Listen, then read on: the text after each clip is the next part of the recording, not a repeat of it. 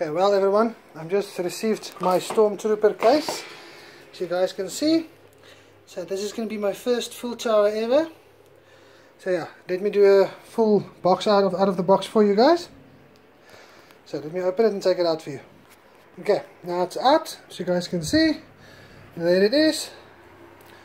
I took the windowed version, and I've really got a personal design I'm going to put on this part and sandblast it and then from there.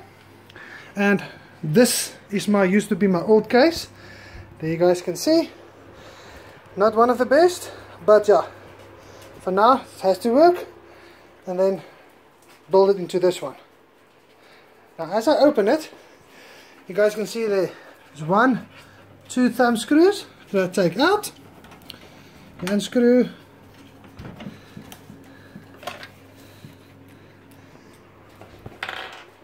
and then slide it open. And as you slide it open with ease as you guys can see a lot of space on the inside of the case.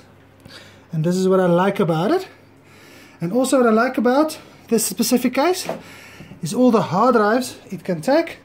And this it can turn 90 degrees. You can put it this way or this way. And you guys can see thumb screws as well to take it out.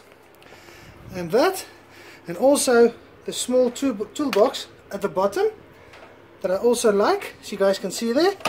Small tip or thumb screw I think you take out to get it out. Let me just check quickly how, it takes, uh, uh, how does it come out? Okay sorry about that. There's two screws one there and one there that you have to take out. I don't have a screwdriver with me now but as you can see it's got a lot of space a lot of liquid cooling. And also what I like is the fan controller you get here and your LED controller as well with the USB 3 and eSATA as well the set, power button, everything.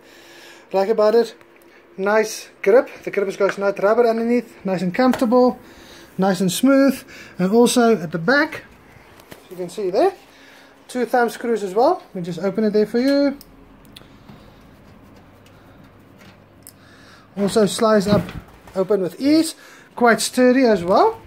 And a lot of space you guys can see there the gap there for a lot of cable management. Nice big space there for your CPU cooler holder. And a lot of hard drive space and a lot of places for the nice perfect cable management. And also it's got quite a few dust covers as well. One here as you pull out there. One at the bottom for the power supply one in front with the door handles, with the door panels. So yeah, I will show you guys once I start building and when I'm done. So yeah, enjoy.